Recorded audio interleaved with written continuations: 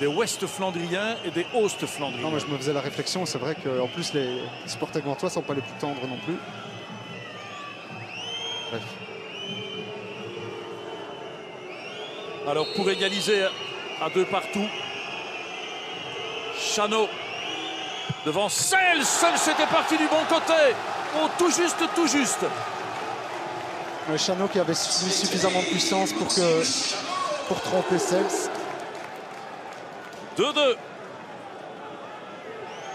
Ouais, c'est. Il manque un peu même sa, sa frappe, on a l'impression. Soumaoro à présent.